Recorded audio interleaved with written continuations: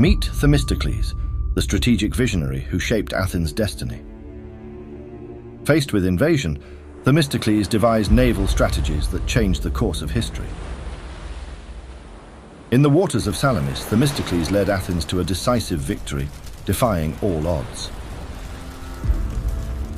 Beyond the battlefield, Themistocles wielded political prowess, shaping Athens' destiny in the assembly. Themistocles' legacy endures, a beacon of strategic brilliance and leadership in ancient history.